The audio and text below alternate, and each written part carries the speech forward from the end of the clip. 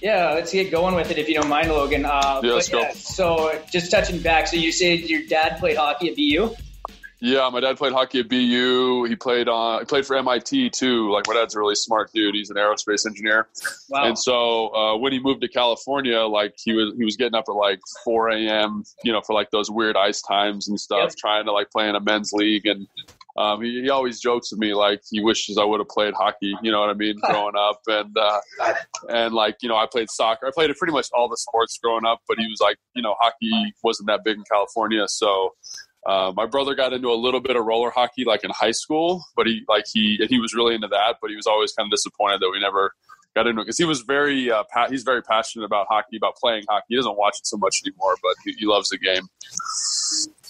But did you dabble with it at all? Did you ever get out there playing on the ice or hockey, anything like that? Yeah, yeah. I played a little roller hockey with my brother. You know, get out with uh, the sticks and the cul-de-sac and yep. and mess around with that. And then, like, I always felt like, uh, to be quite honest, like skating came really naturally to me. Like, I don't skate very often or very regularly, and every time I get on the ice, I always feel very comfortable. Like, and I've never had any kind of formal training with it, so I'm sure it kind of like is in my blood. You know, to like use that stereotype a little bit, but um, you know, I've always wondered like if I had pursued that, like what it would have been, and because I, you know, I think you know, I'm about 6'4", I'm about 265 right now. So I'm probably a little heavier than I would be naturally, but I, you know, that's a big hockey player. So, oh, yeah. Um, 265? I've lost about 10 pounds, 15 pounds Holy since uh, last year. Yeah. So, Jeez, so uh, you played, your playing weight was 275. 275 the the latter half of my career so like um basically like I had a conversation in like 2015. They said like you are not going to catch any more passes. Like you need to get really good at blocking. And I was a pretty good blocker before, You know, but like when they say basically you're not going to, you know, catch any balls anymore, you're like, oh, I'm basically like an offensive lineman. So like that extra 10, 15 pounds is like very helpful in terms of like, you know, putting your face on somebody and like for pass protection and stuff like that. It really helps out. Um, so yeah, I kind of made that decision and you know, I, I uh, sometimes I think back on it like, was it the right move? Um, you know, because I never really sat with the team after that time period, but I did play 10 years, so I guess I can't be too upset about it. Right. Well, I think the average in the NFL is what three, maybe. Yeah, it's like yeah, it's like three and a half or something, and uh, you know, yeah, like I, you know, I was an undrafted free agent coming out of UCLA, and I never thought I was going to play in the NFL. Like I remember you know, being in training camp and kind of thinking about what I wanted to do after training camp was over. I was like, oh, this is really cool. You know, I got a taste of what the show looks like or whatever. Uh, but you know, maybe I need to think about going to law school or doing whatever I'm going to do uh, to kind of like once once I wake up from like this dream, you know, and then I ended up making the team, and I was like, well, I'm going to get cut next year, and then I played three years. Like, I, you know, my first year, I think a lot of people, I tell a lot of people this, I stayed in like an extended stay hotel um, over in uh, Sterling because I thought that I was going to be cut like every single day and I didn't want like a lease, you know? and so I, uh, so I, I, I, played for three years and I was like, well, I won't play this deal out. And then I played that deal out. And then, you know, I went to Chicago and San Fran, Atlanta, and Houston. But like, you know, it just kind of every year I was like, well, this is I'm going to get cut and it's going to be really hard. And but you know, like here I am and I, it like worked out. So. So let's uh, let's go back to that first training camp for a second. You said you came out of UCLA, undrafted free agent. So going into that camp, obviously, like you said, I'm sorry that uh, you were making plans for afterwards. So kind of being that guy that might not have been the highly touted prospect high on the depth chart, were you kind of starstruck going in there? Like, holy crap, uh, you know, here's so and so, and like, who were some of those players, and were you able to learn from their professionalism and how to how to work to prolong your career? So yeah, you know, I was actually kind of a, a Redskins fan. I really liked the style of offense that they played. You know, like I I've always enjoyed people who run the football well, and like Stephen Davis was out here for a while, and like mm-hmm. the you know Clinton Portis, and and so like when I got to meet some of those guys, that was really kind of spectacular. But I remember like the first time because like when when I was a rookie, they did a little different. Like you'd come in independently of the vets, and then you have like a week like a weekend of like rookie mini camp, and then you'd come back, and then the whole team would be there. And I remember the first time walking in, I just was like blown away by how absolutely huge everyone was. Like Donovan McNabb's a quarterback, and I think he was like 260. You know what I mean? He's like six three, and just a huge man. He was incline bench pressing like 275 for reps of five sets of five and you're like, oh my god, like I can't even do that on a flat bench. You know what I mean? So like it was just like a different breed of human. Like I tell people, it's like the ultimate natural selection. You get so many people playing football, like youth football, and then the best just kind of keep going, keep going, keep going, and by the by, by the time you get to the top, like you just see like the the outer echelon of what a human being can look like and what a human being can do, which is pretty spectacular. And then in terms of professionalism, like the second part of your question, like I learned all that from my dad, to be totally honest. Like my dad, um, he, you know, was an aerospace engineer. He worked the same job for 43 years. He never missed a day, never was late. And so when I left, he was like, Logan, like, you know, this isn't college anymore. Like, this is a job. So treat it like a job. And that was like my example of what what it meant to have a job. Same with my mom. My mom worked the same job for I want to say like 35 years, you know, human resources and never missed a day, like same type of thing. So that was like what I understood it to be, like get there early, stay late, do everything that's asked of you, be on time, and that's what I did. And I think um, I didn't know it at the time, but in retrospect, that really served me well. Right. And I think that's a pretty key point that you just hit on to show up, be on time, put the work in, stay late if you need to. Uh, yeah. Because, yeah, I think that, that a lot of that kind of gets lost nowadays. But um, also to what you were saying, that you learned that from your father, we do have a lot of hockey parents that listen to this. So yeah. Um, I think that's an important note for, for some of our listeners to take away that, you know, the first real hero in your kid's life is going to be your father. Uh, so uh, the kids are going to want to mimic everything that you do, and by setting that great example on what work ethic is and those those things that don't require any talent or skill like showing up uh, on time working hard staying late doing all the things you should to develop those right. successful habits i think that's awesome that you had such a positive male influence in your life to, to show you that uh, and then hopefully that you know any parents listening are doing the same, mimicking those habits to, to teach their kids as well. Yeah, and like I do a lot of like, uh, especially the later, like the latter half of my career, I was doing a lot of like mentorship, and so I do a lot of talks with the rookies and stuff. And one of the things that's so incredibly critical, like in my opinion, at any level of sport, you know, and then any level of profession and just interacting with people is like your attitude, like you were talking about, and your effort. And I know that sounds so cliche, but like it really, those are the two variables, especially in like a crazy industry like the NFL that you can control. And like I used to tell the guys, like, don't give them a reason to cut you by having like a bad attitude or not giving anything less than 100%. Like, um, if, if, if, if, if you do really uh, well with those two categories, like the coaches understand that it's important to you, and that's really important because the coach is going to invest more time in you, and they're going to help you out a little bit more. So I, I, really can't like stress that point enough. You know how important those two factors are in uh, in athletic and just like success in life. You know, absolutely. Hey, going back to um, sort of your progression, right, in your career, you were saying um, you played your first what three seasons with the Skins, right? I played my first six season with the Skins. Uh, I, I, so I played out my rookie deal because it was a three year deal because I was undrafted. So I played the three years, signed a new deal, played the, played that deal out, which was great. Like eh, you know, exceeded all expectations. Like, um, yeah, man, it was it was a pretty spectacular uh, experience, you know, to do that and play, stay in the same place for a long time. And then kind of right around that time, you know, my son was born, we bought a house here and I was like, man, I'm going to stay. It's going to be great. And then kind of the best laid plans. you, know, you get shipped off. Yeah, you yeah, got out of that extended stay hotel. Yeah. Yeah. Yeah. And then, uh, and then I lived in an extended stay when I was in Chicago. And then I went to San Fran and got cut three times and re-signed in the same year. I lived in a Airbnb that was like that 15 people lived in. I could touch the walls with my arms. It was just a mattress on the floor, pretty much. And, nice. You know, like everyone thinks of like the NFL as like this crazy glamorous thing, but it is. It can be pretty stressful, you know. So, sure and as, as you guys know, with the hockey stuff too. So, what made it? um When you were talking earlier, you, you sounded like you were surprised almost to to make it. I think after your first after your first rookie deal was was done, right? The first three years coming yeah. back. What were some of the factors that that kind of surprised you, or why did why did you think that way instead of you know was it like a confidence thing or that's a that's a good question. I mean, I was surprised every year, and I think just knowing how hard it was to be in the NFL, like like you know i was the last man signed to the 53 man roster my rookie year. So like literally they cut a guy and signed me after cuts. You know what i mean? So i wouldn't be on practice squad. So i was like literally i'm like the last person on the roster. And um now did they tell you that?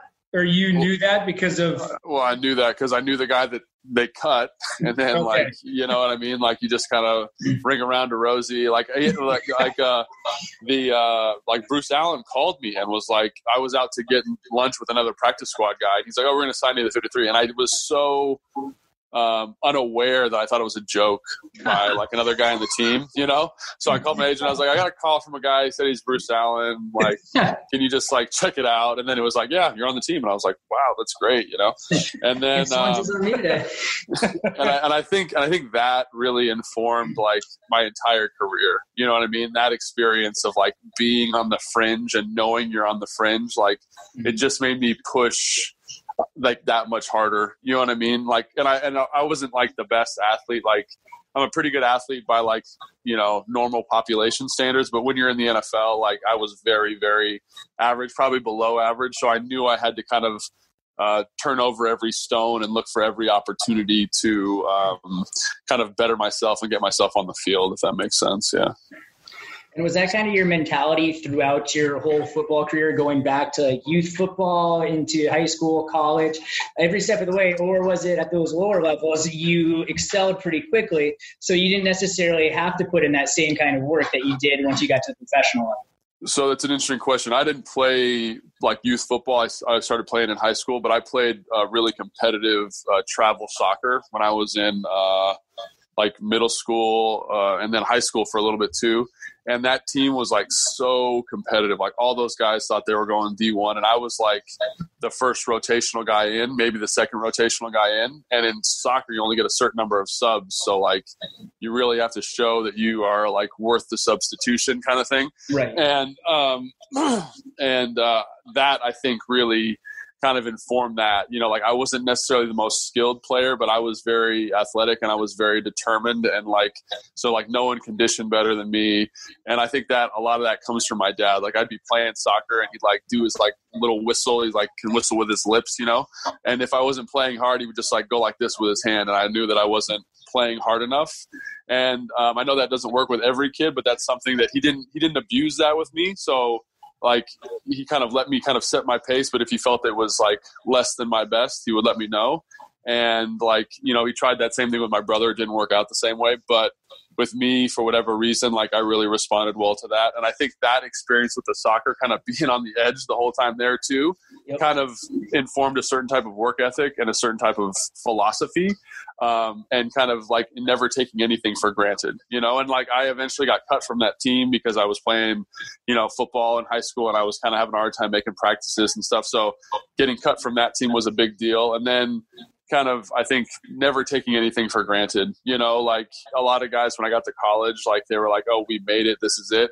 But like, you know, I kind of knew that like I was I came in with three other tight ends, and I had to prove that I was the best one of that uh, in college too. So every every step of the way, I kind of took it as like like a challenge a little bit, you know, and like um, and I think that experience with the with the travel soccer really inform that. Yeah, absolutely. And I think that was a fantastic answer uh, because, like we were telling you before we started recording, a lot of our premise on this podcast is based around people's journeys from where they started and making it to the the pinnacle of their sport and how they got there. So I really liked hearing that that you know, every step of the way, whether it was soccer that you were playing or once you got to UCLA and you were playing football, that you were still working to maintain that spot on the team. Uh, and that draws a pretty good parallel with hockey in the sense once you reach junior hockey, college hockey, pro hockey, you have 25, 30 guys on a roster and you can only put 20 guys on the ice for a given game. So right. every week in practice, you're competing against everybody everybody else on that roster to to get the the jersey in your locker stall on game day. So I think yeah. that's a key thing, you know, to to hear that even other sports, it's uh, the journey's still the same. Yeah, absolutely. You know, and like from what I don't know hockey super well, but even like at the NFL level, for example, like you know they they there's 53 guys on the active roster, but they only dress 46.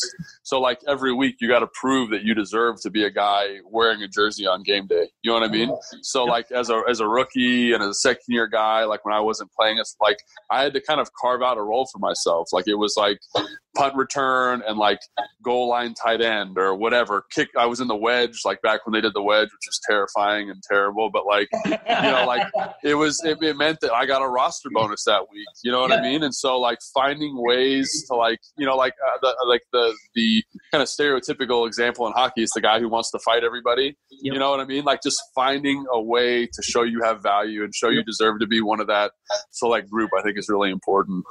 Yeah, I mean that's uh, when I was playing hockey. That wouldn't be uncommon for us to have two to three, you know, drop the gloves, square up, and fight. Uh, you know, just goes in practice, just strictly because it's not nothing personal. You can still be best friends and teammates once you're done. But you know, once we're on the ice and we're competing for that roster spot, it's either the scout's going to see me playing on the ice, or the scout's going to see me up in the stands taking stats for for the guys that are on the ice. So right. which one am I going to be? Uh, yeah.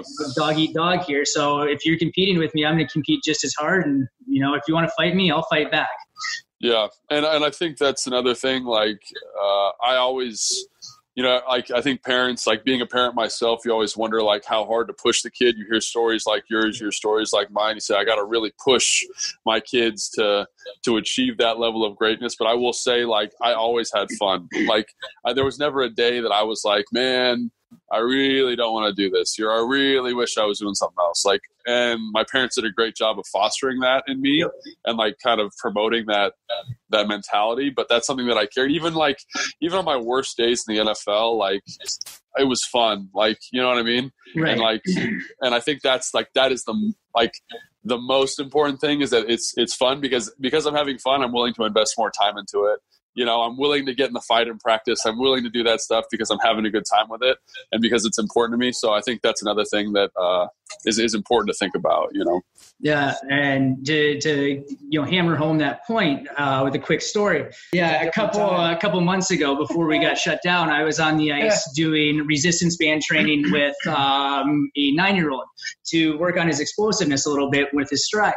And at one point he was like man this isn't fun but we were able to modify the drill a little bit and he, he went home he told his parents he had a great time at the session and i was like oh yeah we did some resistance band training i wasn't sure that he was going to you know come back with that report and she's like well that's a key of you know why you guys are great coaches is because right. you then do stuff like the resistance band training, which is going to you know drive the athlete to that point where he doesn't like doing it, but he's still going to you're still going to modify it enough that you know he's still coming home saying he had fun and wants to go back. Yeah, and I think that's also like a really important thing to to note, like for coaches too. Is just like you know everything like never take any type of uh, like physical education for granted. Like in schools we go we go through this really like regimented and specific progressions. You know we start like you know you learn your letters you learn your numbers and you learn how to like combine them into words and you learn how to combine them to add and subtract right? And it follows this very nice clear progression. And I think with athletics, oftentimes that progression isn't as clear because, like, the maturity of the athlete, the physical capabilities of the athlete aren't necessarily correlated to their age. So, oftentimes, you have to like either regress an activity, and like a great coach is someone who's able to identify when that regression is necessary and like when some type of modification is is paramount you know what i mean? And i think that um, that's so so critical especially with young kids you know? Like you can have them do something that's like too hard and not get anything out of it or you can be like hey like I can put my ego aside and we can change this up and like make you enjoy it and right? So right. There's always multiple ways to teach something and kids are going to learn in different ways. So because it works for Johnny doesn't mean it's going to work for Billy and vice versa. That's right. So yeah. you have to kind of adapt on the fly there. Uh, but kind of going back and kind of jumping down a rabbit hole here, so I apologize. But um, you were talking a little bit about you know an athlete's progression. So USA Hockey, the governing body for that oversees all of hockey within the United States, they came out with a study. This was a couple of years ago, but I don't remember the exact ages. So you know, for uh, right. the sake of the story here, just kind of bear with me. But they said like between the ages of 10 or 8 and 10 you're more kids at the age where they're more likely to pick up on hand-eye coordination skills, sure. stick handling, stuff like that. And they kind of did build us a little bit of that roadmap, like you were talking about with you know learning your numbers, spelling, etc., um, as to how to develop an athlete based on their ages. Is there a governing body for football that uh, oversees everything, and is there any similar studies that show uh, like the same correlations in how athletes develop? That you so yeah, yeah. So nothing specifically for football. Like, uh, I think the I think you know like football is kind of steeped in a tradition that is not anti-science, but it doesn't embrace science in the same way. You know, especially at the youth levels. I mean, in the NFL, they're trying to to get there with some of like the uh, the data monitoring and the GPS stuff and like the load management stuff, which is like all kind of heady and there's a ton of research on that. But like if you look at just general um, athletic development research and different models that have come up, like yeah, I think there's a ton of really cool stuff out there. And the one thing that I would advise is like for parents, you know, like specifically, is everyone gets caught up in this idea like, oh, my kid is 11, he should be doing this. But remember, like everyone hits puberty and develops at a different time and a different rate, right? so your kid for it what? Yeah, exactly right. Yeah, jeez. Got a full beard on my face coming out of the womb. But, you know, I mean, still waiting to get taller. Yeah, it'll come, man. Don't worry. You know what? At 33, it's still right your puberty time. Like, I, like, I look, I look at my brother-in-law, for example dude's uh he's like a green beret now. He's like totally alpha man. Like he's 6'2 he's um you know 215 pounds and he's like jacked right? And when he was in high school um he did he was like five seven until he was a senior in high school. Wow. and so like so like i bring that story up because like his athletic his physical maturity did not match his age right? And i think that's really important. Like when people throw these age numbers out there that's an average right? It's exactly. average 8 to 10 right? But let's say like your kid's like really tall and gangly and they're about to hit like a fill out growth spurt but they're 11 like i hate to break it to you their hand eye is not going to be great until they get that muscle mass to support that frame right? So just so just kind of keep that stuff in mind. Everyone's a little different and like there's like I mean there's everyone has stories. Like there was a guy that I played with in middle school who was like the biggest baddest dude on the block right? He was five five and he was you know 180 pounds of like you know like steel. And then he didn't grow for the rest of his life. You know what I mean? And so like he was way ahead of everybody else. But I think I think though that that maturity element, uh, that physical maturation element, is so critical for that early development stuff, right? Because there are guidelines, but if your kid isn't where there's where the guideline is indicates they should be, that's okay too. You know what I mean? I think that's right. why I bring that up. Yeah, it's so. funny. You know, all of the, the all the years that I've coached and the different ages that I've coached and seen, um, a lot of the kids that are good, really, really good at a young age are are not very good, or they're they've been caught up to right? Right. At that older age. So right. the kind of the late bloomers, almost it's better to be a late bloomer, I think, in my eyes, because more of the like even looking at Alex Limoges, right? Like mm-hmm. great hockey player. He's going into his senior year at Penn State. Um, he didn't start skating until he was like eight or nine. You know? Yeah. So for like nowadays, that's that's like unheard yeah, of, right? People late. start at like four or five. They, that's very late. So well, dude, like you bring up a got into it late, and then like just sort of took off. You bring up a fantastic point. Like in talk, talking about these youth development models, like the kids that do that are the most diversified in their sporting background early yep. tend to be the most athletic. Now, is that a causation or correlation? It's really hard to say. But um, if you look at like, you know, like a kid who plays soccer, basketball, baseball, and they run track, right? They are developing different movement patterns and a different physical kind of vernacular than other kids would. You know what I mean? Who just play football, right? If you just play football, very linear, very specific patterns, very specific movements and then they lose kind of the dexterity of the footwork with the soccer or they lose the hand eye with the basketball and the jumping and the all those different elements so I do think that like parents want to specify they're in like an arms race with all these other parents and they say oh my I, I, do the same thing with my kid's six right? I do the same thing right? Like i'm like oh that kid's way better than owen. Like maybe i need to get him you know in some more hockey classes or in some more baseball classes. But i gotta kind of gotta slow myself down and be like you know what? I'm not in it for right now. I want him to have fun now. I want him to enjoy sport, but I want that development when he kind of reaches a physical maturity, like eight to or 10 to 13 when that starts to happen then we can start looking into more specificity.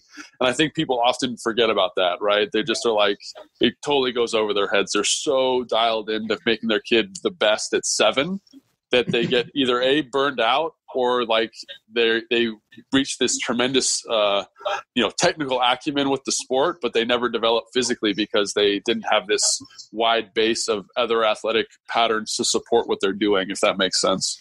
Yeah, yeah, it does a lot. I mean, I think uh, you know USA Hockey's done a much better job in the last maybe four or five years to really point out that you know, hey, multi-sport athletes are more often than not, they're the ones that go further than anybody else. You know, so right. Too much, too early, right? And you see a lot of these like injuries that you know professional athletes get. Kids are getting them, right? Because yeah. you have so many reps in in one sort of linear, uh, lineal like you know training set. Yeah, man. Well, I'm going to take my two year old in for Tommy John just to get it out of the way now. yeah, no, but I think that's a, that's a really good point. Like a lot of the injury prevention stuff comes from diversifying pattern. Like if you look at the research, like one of the biggest causes of injury is too much volume in a specific plane, right? That's one of the reasons why you see like bench people who bench press a lot with like elbow tendinopathy. Like it's not because the weight or anything like that. It's because it's the specific pattern over and over and over and over again, right? And so the idea that um, you know you need to kind of move in different planes and do different things. Like an easy way to get that done is just to kind of play different sports and do different activities, right? Like that's one thing my dad like you know bless him. He doesn't know a lot about like physical training and physical preparedness, but he was like, Logan, you are going to play a different sport every season throughout your whole career. So I played three sports in high school. I played three sports in middle school. I played four, actually played four sports in high school because I had to play soccer too, in addition to my three sport. You know what I mean? So that was his one rule for me. And I think it served me really well. You know what I mean? In terms of developing me athletically. Yeah. I wish my parents would have made me do that when I was when I was that age, when I was like middle school, high school. Like I I always played basketball with my buddies. We, yeah. we threw football around it. I played football, but I never like hockey is really the only organized sport that I really, right. And because like my dad was gone a lot overseas for work, my mom worked full time. Right. So they're like, you can pick a sport, right? But they, yeah. like, you know, like baseball to me was I'm sure this will irritate some people, but like I hated baseball to play it. Like it was so slow. I hated standing there yeah. in the middle of the field, like being bored. So, yeah. I mean, hockey was like the only thing that was fun for me, but I, yeah. I wish that that's probably the one thing I wish they would have done differently it was like, hey, you know, go play basketball. Like you have to go play basketball or you have to yeah. soccer. Well, I, I, think that's you bring up a really great point. If you look at the research that that you going and playing basketball with your buddies is just as valuable as being in an organized setting, right? Like yeah. just because you're out there, you're kind of setting the rules, you're you're playing with your buddies, you're moving in different ways, you're moving in ways that you like that you designate. And I think if you look at the research, there's very little uh, difference between a kid who plays, you know, hockey competitively year round, but inter inter intermixes like basketball or baseball in their own time, right? And a person who plays three different sports. It's just about kind of getting that different positions and planes and velocities um, throughout the year. For sure. Well, I think in training too, like just overall agility. I know in, just a background for for everybody that that tunes into this, right? Um, Logan is developing like a resistance training tool um, off the ice, and so he and I have, have used it a lot. He and I have talked a lot about you know specific hockey movements. We've also done a lot of things that that I wouldn't do if I was skating, right? Like right. movements, um, more stuff you do in a track setting or right. things like that. They're way outside my comfort zone because I never ran track. So he, he, ends up laughing at me a lot the first couple times I do it, but then I then I get it. So then I get like, uh, attaboy. attaboy. Attaboy. There's my guy. so, uh, but but yeah, can like you, that. Can you give us like a little? Can you talk a little bit about um, about that style of training? Because I think it's something that a lot of people have done. Maybe some resistance stuff before, but Right. Give us sort of a, a background on like how you know what your philosophy is and sort of how you're developing for youth. And I mean, this is stuff that D1 guys can do. This is stuff that professionals can do. I mean, you, and you use this, right? Give us kind yeah. of a talk Yeah, a little bit about how you use it too in your work. Yeah. So I, I've been kind of thinking about the best way to explain it. And basically, like, um, I think we as a society have fallen into this like very specific idea of what strength and conditioning is, right? You load a barbell, you run linearly, you don't do a lot of variation because those um, those things are really easy to time and they're really easy to measure, right? But like in terms of transferring that, like you're building horsepower with those activities, and that's really important, right? But in terms of transferring that to sport, like I personally am of the belief that most athletes like obviously the Julio Jones and the Trent Williams of the world, you know, they can do back squat and then go out and play great football, right? But for the guys who are lesser athletes than that, they need some type of transition, right? And um, you know, I had the like this this privilege, the great privilege of working with a guy named Brad DeWeese, who's regarded as the best sprint coach in the United States, which is really cool. Um, and his thing is like surfing this, surfing the force velocity curve, and that's what this tool, in my opinion, allows you to do. It allows you to work different positions, different velocities, and different points of tension, right? So, like in terms of intermuscular tension, I know I'm getting a little in the weeds here, so just try to stick with it. Intermuscular tension is the idea that, um, like, that's where you're getting strong. The more tension you have on your muscle, that's sh- developing strength. And the less tension you have, the faster the muscle can move, right? And so, taking these moments of really high tension in kind of athletic positions and then slowly transitioning them to fast to, to speed right? Where there's no tension on the muscle really i think is something that is really underdeveloped. And i think that that is really important. And then also talking about what i do with chris is just getting your body in different positions different balance points and kind of building that base out so that you kind of limit your exposure to injury and allow yourself to do a little bit of prehab work, right? So, like messing with different velocities and messing with different positions under a moderate load. You know, nothing we do, Chris, is too heavy, right? It's just kind of, Like I mean, yeah, you might say, yeah, yeah, yeah, yeah. So, but I think that's that's kind of what what I when I when I started working on this and I, when I started working with Chris on this, like that's what I fell in love with about it. Is like you can mess with different velocities, you can different mess with different loads, and mess with different positions under load and different velocities, which is something that you can't get in a conventional weight room setting, I guess.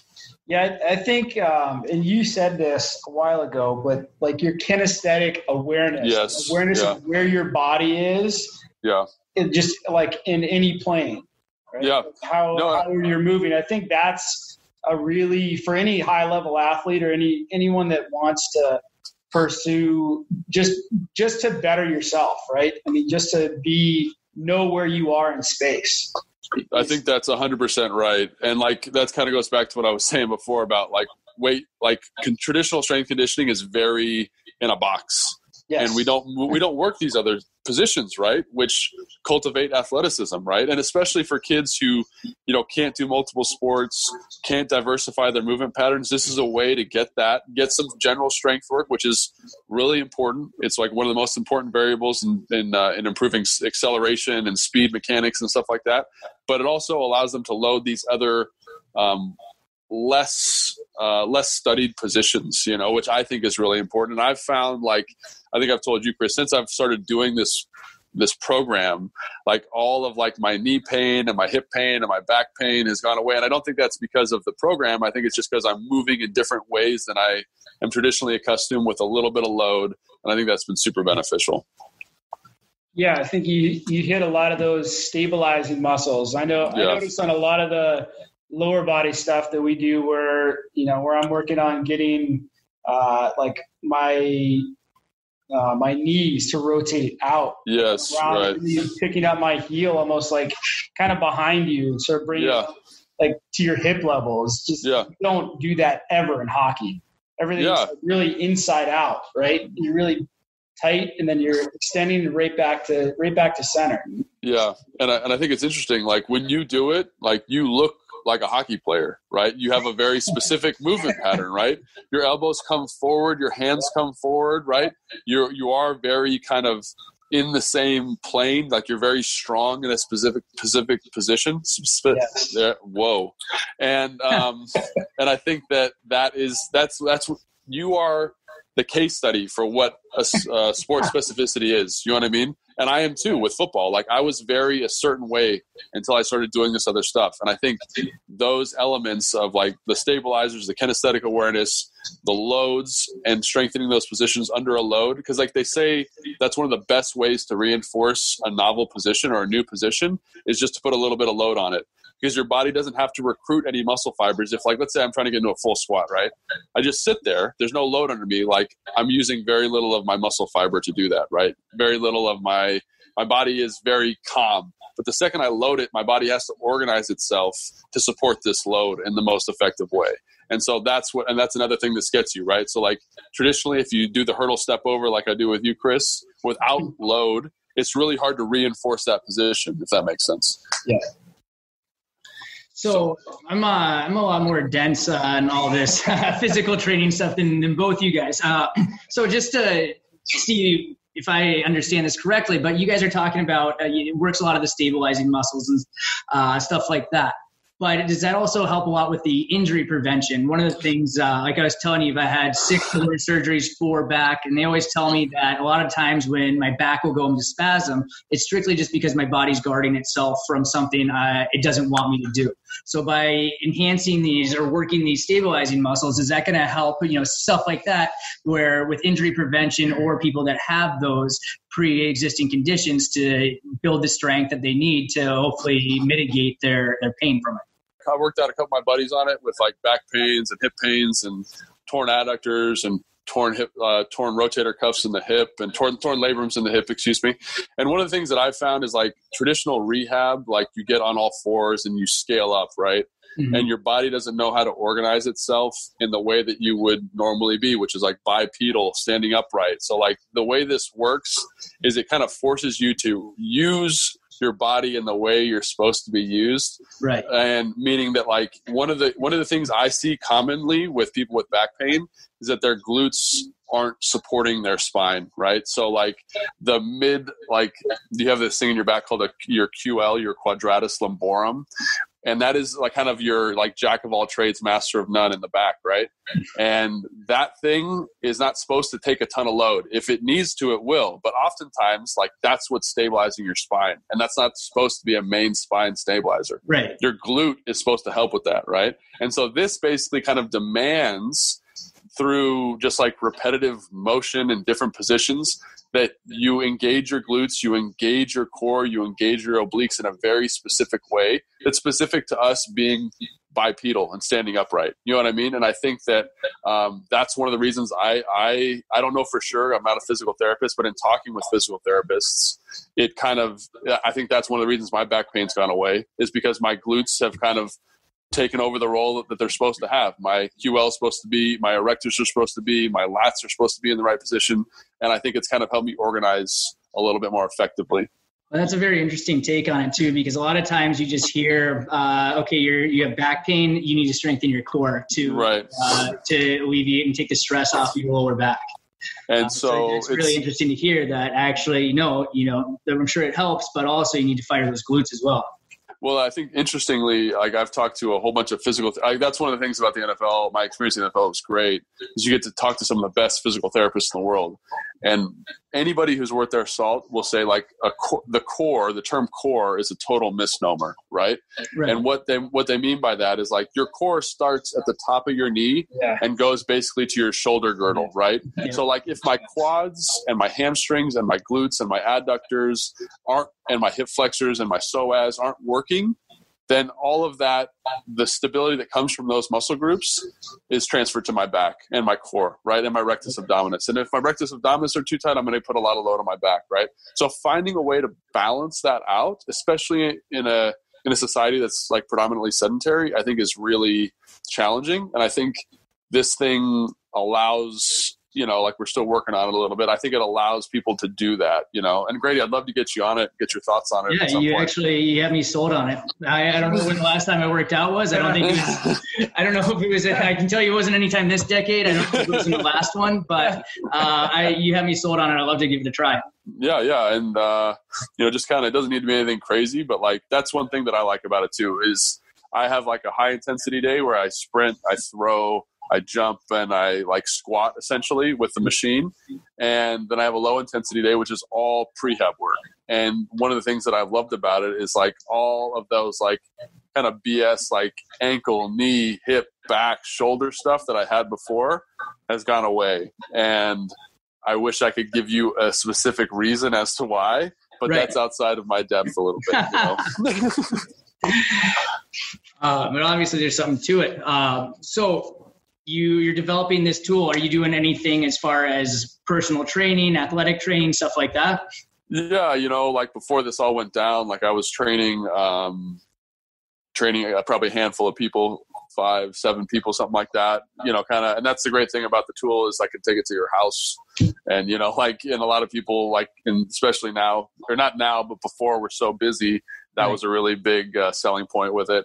Um, but yeah, so that's what I'm doing now. I work with kids, I work with adults. Like I'm just about trying to help people out any way that I can. So awesome. Sort of the thing I like about the tool that, that you're that you designed and uh-huh. that you're working on and with is uh, you can't cheat in these yeah. positions. It's like if I have a if I don't have a good squat position, I can still squat but yeah. it might, might look like crap. Look at your right? And I might be doing damage to myself, or like the, the way that this resistance training is, and and where it sets up on your trunk, right? Like yeah. Your waist, I guess your yeah. Natural, what they, you would call your natural waist. Yeah. Um, you can't like if you're standing too tall, you can't move even right. with a little bit of resistance. No, yeah. So I think, and really that's one thing. You. Yeah, I think that's a great point, and thanks for bringing it up. It's just that like you are you're you're moving in space in a way that you can't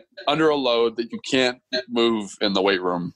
And for most kids especially that is so important. You know everyone wants to get them under a barbell or like with dumbbells in their hands but like they need just just a touch of strength and conditioning like a touch of uh, an element of strength. And so why not combine that with another modality right? Just a different position maybe a more sports specific position and just kind of build that general kinesthetic awareness like we were talking about you know? Well and a lot of right i mean a lot of the players that we see are younger. I mean most of the kids are going to be 14 or younger right? That's sort yeah. of target because you have a lot of kids at that age. And then as you you know at least at a higher level right? And as you know playing you know being a professional athlete um, the number of people that keep going just dwindles down to yeah. smaller and smaller. So I think you at those ages, 14 and, and, under, I don't even think I was in a weight room working out with actual weights until I was like 15 or 16. Yeah, and I think the important thing is like that is something that becomes really important for that second tier. Like the second you go to college, like you're expected to know how to like back squat. You're expected to know how to bench press and power clean, all these things. And I think a lot of people rush kids into that that stimulus too soon. Like I think they need some general some general strength first while working on the positions of those movements, right? Yeah. And um, and that's another thing I love about this is that it's extremely scalable, right? So like I will be in a workout and my three year old daughter will come out and say she'll want to do a couple reps. So I can move the load from whatever I'm doing. I'm like I said, I'm 6'4", I'm 265 pounds. My daughter's, you know, two and a half feet tall and she weighs 40 pounds and she can get whatever she wants to get done on there. You know what I mean? And not, I'm not worried about her hurting herself. I'm not worried about anything. Right. So I think that that's another element that's really important is like, you can scale it you can keep the athletes safe you can get them some of this strength work while not exposing them to an undue amount of risk i would say it also makes it sound like it just teaches you a lot more about how your body works as a whole, uh, how yeah. you move, and proper ways to make those motions. Yeah, I think that's 100% right. And I think like like Chris like that's something that Chris really like I think about it from uh from like a velocity and strength perspective more and it's been cool to have Chris involved because he thinks about it from like I don't move this way that often and like right. that is so important also. You know what I mean? Is building that foundation of movement so that the peak can be much higher, right? Like right. I, like when I like when I do sprint work, like I know how my knee should track, I know how my hip should feel but a lot of people don't even know that. So like getting them in these situations before that high intensity activity i think is really important also yeah, and having that added knowledge on how your body works and how your body's movements work uh, it's going to just be that much more beneficial to you once you do get in a gym under a barbell or you do make it to that college and you're expected to know how to power clean right. i think it just sets you up that much more to be able to execute techniques properly once you understand how your body actually works and how it moves Right. And like the other thing that I've always said is like with a kid, like you need very little general strength work, you know, like push a sled, pull a sled, do something like that that's not going to like crush your back, but it's teaching you how to brace, get your legs stronger, increase general mechanism strength. Get a broom handle or a PVC pipe and work those other positions, right? The squat, the hinge, the like the RDL or the deadlift, the yep. bench press, the bent over row because then you're learning you're like that, that element right? And so at some point when it's time to load you know oh this is the correct position. And i think that is that's something that is often overlooked and rushed way too quickly and like kind of like you both have been saying so. Yeah i hate to admit it but as a coach i honestly have never thought of that myself getting kids ready to actually work out properly yeah. as, as, as opposed to just throwing them into the gym and saying work out. Yeah yeah, and I think like that's something that I had to learn. Like I learned, like you know, I, I was I had my, my high school weightlifting experience was probably like ninety or hundred percent of the people listening. Like the coach was like, put that bar, on, put the weight on the bar, and lift it, and you were like, okay, like you know, that's that's still that's my knowledge on working out. well, we're all we're all about the same. I think we're all pretty much the same age. So you know, twenty years ago, when we were starting to work out, like that was kind of normal. I mean, you yeah. just sort of watch people do it, and I think that the knowledge base, like part of it's your coach's knowledge and their and how they communicate it to you. I think the the best thing that that Logan that you bring to the table, like for when we're doing stuff outside, you give like a re, like here's what your body's doing when you're doing it. Right. And and here's why you know okay when you're you're picking your leg up back here, like your glute is super weak on your left side. Yeah, right. right? So you you don't like you bring your foot down too too fast. Yeah. Right well, th- thank you, Chris. That's a nice compliment coming from you because I think you're a fantastic coach. Hey, thanks. So I appreciate it. I paid him, I, uh, slipped you twenty bucks. Uh, well, yeah, I mean, that, I, I, but it's huge, right? I mean, I think the more you know, the more knowledge that you have, like especially just training in general, right? You really have to know um, what your what your body has to do, the, the necessary steps to take and, and, your body through what you're doing. Like we're on the ice, I'm I'm telling these guys, like, okay, well, you gotta you gotta do these five things but then you have to make it look like it's all one seamless thing. so just do it. Like open That's your right. blade, close your blade, pull it across your body, like push your hands away from your body, cross over. I mean, like yeah. all these things, and then okay, just go and do it. yeah, I, and I think like that's like that's such an interesting point because in sport you think about that all the time. Like I used to be such a technique freak, even in the NFL. Like my foot's got to be here, my hands got to be here, my hat's got to be here, my pads got to be here and but people don't think of that in the weight room. And i think it's almost it's not as important but it is important to think of it that way. And i look at you know all these people like like kids especially. That's one of the reasons i like working with kids is you help set them up for a lifetime of safe and informed and productive strength training right? Because uh, you might not be able to play hockey forever but you can like my dad still works out you know what i mean? He'll go out and lift up his dumbbells in the backyard and he still does it like he did it when he was 20 you know what i mean? And it's terrible for him but like if you, get, if you can get him if you can get him doing it right when he's young right? Then like they have that it's like golf in my opinion yep. you know? But it's something that's going to be a little bit more productive and as long as you know how to scale and and be responsible with your weight choices i think that's so important and that's one thing that I get really fired up when I deal with a kid. Like even when I got to work with your kids, Chris, like just like giving them little nuggets. Like if they take one thing away from a session, like that's so important because it's something that they can use forever if, if they if they take the right way. Well, yeah, looking at my well, for one, they're my kids, so they never listen. but looking at at my kids, um, they're they're good at different things. They're really different. Right. Yes. So you know, one will be like okay, pretty good, like uh, explosive speed, but Yeah. then form wise, the older one's better. Yeah. Yeah. Right? So it's just it's funny how how different they are, but interesting that you know they take little things here and there. Yeah, no, it's it's it's great, and like I think that's the other cool thing, and you guys probably know about this more than me. Is like every time you coach a new person, like you you improve, right? Because you learn how to communicate a little bit better with somebody different, right? Like the way I said that didn't make sense to you. Like how does it make sense for you? You know what I mean? And like Right. finding ways to get that communication is so critical. I think. Yeah, I mean, you do have kids that are visual learners, some that are auditory learners, so you do have to find ways to get the same message across to both.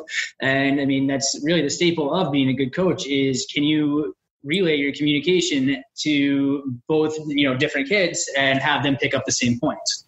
Yeah, and like my wife was a teacher for a long time uh, before we moved out here, and she always says to me like, never take anything for granted. Like, never assume that they have like this foundational piece understood, right? Yep. Like, you, if you got to go back and make sure that they understand like ten steps before, like sometimes that's what you got to do, and because like if if a if a house is built on a foundation of sand, it's not going to stand, right? So finding those that weak link in their in their learning, I think, is also important.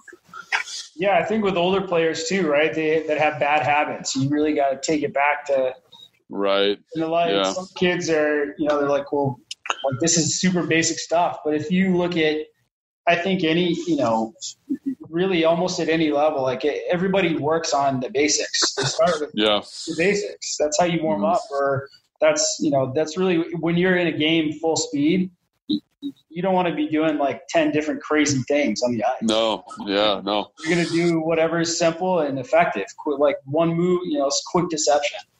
Yeah, no, I think that's 100% right. Like, like even the warm-ups in the NFL, you know, a lot of them are based around like helping people maintain running mechanics. It's not at full speed, but there are drills. There's like, Yeah. and that's something that you think everyone would have in the bag, but no. Yeah, even especially at that level, right? I mean, Yeah. These guys are getting paid a ton of money to play a sport professionally, and you're like, Yeah. oh, those guys don't do the basics. But I mean, we look, we've got buddies that Yeah. play pro hockey uh, in Yeah, I Europe. was just going to bring that up. Adam uh, Adam Comrie, who is a guest uh, on this podcast twice, we did two different parts with him about his pro career and all of that. But he comes out and trains with us, and he wants to work on the basic fundamentals, the Right. stuff that we even Yeah, have eight year old kids stuff. doing that are still learning how to skate. And he says that it's- at the pro level, it's still just as necessary to maintain those fundamentals of the very beginner uh, tactics. So then that way you still have that fundamental base and you can continue, to build off of it. So in your career as a professional athlete, could you attest to that as well? Would you find yourself still working on some of the most basic things, even at the, the top of, uh, you know, playing in the NFL? Yeah, hundred percent. Like I used to. So like there was a guy that I played with in college, and I said I told this to my wife, and he was he was a freak. He was like six. I want to say six six. He was like two eighty. Played tight end. He could run. He ran like a four six. But you never you you've never heard of him because he couldn't take uh, a six inch step with his right foot. Right. And like, so that was something after seeing that, I was like, this is, that's why it's important. So every day before practice, I would go out and I'd work my footwork. And, uh, you know, no one sees that. No one, like, you don't get any points for that, but I work it before and I'd work it after. And it's like, because I knew that if I couldn't get my first and second step down before the defensive end hit me, like I'd have no power and it would be a soft edge for the running back, right? So like just making sure those and then like hand placement, pat, like those things are things they talk about like day one of any football activity. Pop Warner, middle school football, high school, right? But like in the NFL, like you'll see dudes like J- Jake Matthews is a great example. He'd be out there working his pass set for like 15 minutes before practice even started. And you think he has done that probably a million times in his life. I'm not exaggerating. He Yep. played tackle at Pop Warner, played tackle in high school, he played tackle in college, he's played tackle in the NFL. He knows how to pass set, especially on the left side. Like that's what he does. But he'd get out there early, work his hands. He'd get a defensive player. They'd work a little bit, you know. And to see that type of fundamentals by a guy that's a really good football player, I think, is, and even Julio, Julio Jones gets out there early, works like route breaks. You know, how many route breaks has he done in his entire life? Yeah, more right. than more than any other person on that team, probably. so I think that's something that um, that like kids hate it, but like it is so important. Like even like with with like young kids, when I'm like, hey, like approach the barbell the same way every time. Like that's one of those fundamental things, right? Because if you're in a different spot on the barbell, your hands are different, your feet are different. Like, how does your body know what to do? You know what I mean? So like, yeah. Sorry, I rambled a little bit there. No, one of the key things that I think you hit on there was when you said you were out there, you're doing it, but it doesn't get you any points. Uh, Yeah. You're right; it doesn't get you any points, but think about it, it can also lose you points in the eyes of the coaches. Yeah. You're not yeah, out there doing that stuff, and like you said, you weren't planning that foot, and you uh, had a soft edge for the uh, running back. Uh, think about it; you do that two to three times in a game, right? Yeah, you're- absolutely. That's major deducted points. So You'd be riding the pine. yeah, Right in the pine. it doesn't help you in the immediate future by putting that work in. It does help your game and it helps you main, stay on the field so you're not making those costly mistakes. Well, and also, like I always, you know, I said like I was never the best athlete at the NFL level, and one of the things that repetition does is it makes it intuitive or like reactive, Yep. as opposed to something you got to think about. Because the person who has to think about something does it slower than the person who just does it, right? And the only way I know how to do it is just to drill it until my body just defaults to that position Yep. right? And like, so it might like you like I always equate it to boxing. Like run blocking is very similar in terms of timing. Um, like you don't understand the distance until you've done it, you know, four thousand times. You know what I mean? Like, Right. and I think that that's something that like I try to talk. I try to talk to young people in the NFL. Young tight ends and be like, you got to work this because you don't see the distance correctly, right? You don't know where your feet should be, you don't know where your hands should be, and they kind of brush you off, but they never become proficient in the run game because they don't attack that fundamental element of their game. Makes a lot of sense. You got anything else for Logan? No, I think. I mean, you could Logan, probably talk for like another five hours. I know, it's just fascinating. Shoot the breeze. Logan, last question for you. Redskins are in major need of a tight end. You coming back? Oh my gosh! If they called me, I'd probably I'd probably give it a good look because it's like right down the street here from where I live. But uh, I don't know. I'm, I'm, I'm if it, if it's good, like if I if I'm gonna if I'm gonna make a team, I would think about it. But if I'm just gonna go to camp, they can keep it because like you go to camp. yeah, right. You're not 15 anymore. You don't need to go Yeah. to away camp. yeah, right. You know what I mean? Like you go to camp, like to get the shit beat out of you for you don't get paid for that, by the way. You just go and you just do that for free, and it's like, yeah, I just took like a year off my life for no. so Well, there you go. You heard it on our podcast. Logan Paulson back with the Washington Redskins. We'll make, we'll make a phone call later. yeah, yeah, right. Because I'm sure we know somebody. Yeah, right. yeah, seriously. But uh, Well, dude. uh, in all seriousness, thank you so much for your time today. You were a fantastic guest, a wealth of information, uh, and I can't wait to try that resistance training out with you. Yeah, yeah, man, it'll be great. And thanks for having me on, guys. It was super fun, and hopefully we'll be hanging out more and doing some training together. You know what I mean? Absolutely. Yeah, in person. Yeah, that's right. That's right. All right, man. It's good. Uh, good talking to you. Thanks for being on. Yeah, no problem, bud. Hopefully it was all right. Hopefully I didn't talk too much. No, I killed it, man. yeah, you didn't talk too much.